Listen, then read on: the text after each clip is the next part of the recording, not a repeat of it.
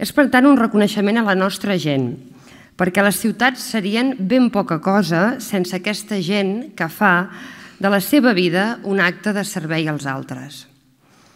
Avui n'hem tingut set exemples ben clars, tot i que des d'àmbits molt i molt diferents.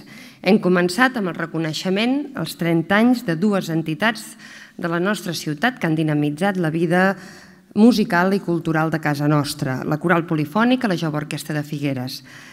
Coincidint amb aquesta celebració de la capitalitat de la Sardana i del bicentenari del, del naixement de, de Pep Ventura, hem reconegut amb la fulla de Figuera de Plata la trajectòria d'un figuerenc molt i molt entranyable, el músic Jaume Cristau. Una persona que ha portat el nom de la ciutat arreu del país i que en aquests moments és l'únic compositor de sardanes figuerenc que tenim en vida i que sigui per molts i molts anys. També han reconegut l'esperit emprenedor d'una ciutadana que ha perfumat generacions i generacions de figuerencs i d'estrangers.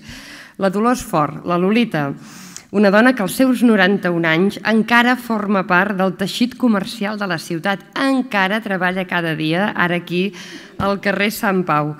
Nomenar ciutadana d'honor a Rosa Maria Malé és un reconeixement a aquelles persones que fan una feina callada, gairebé anònima, però constant, al servei dels altres. Ella ho ha fet tota la vida, ja ho ha explicat, des de diferents àmbits i ara destaca per la seva empenta al capdavall de la, al capdavant de la, de la colla del Satardó, tot un revulsiu intergeneracional.